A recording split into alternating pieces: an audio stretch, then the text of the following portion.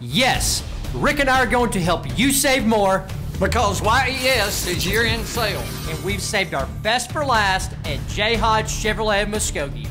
Come get a trade-in bonus up to $1,500 when you buy your new Chevy. And everybody says yes to that. Up to $1,500 extra. Get an appraisal at the dealership or at your home.